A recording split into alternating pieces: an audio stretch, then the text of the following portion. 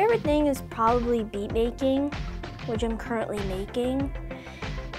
What's fun about it is that you don't pick from a selection, you can just make it your own, make it original. Probably my remix.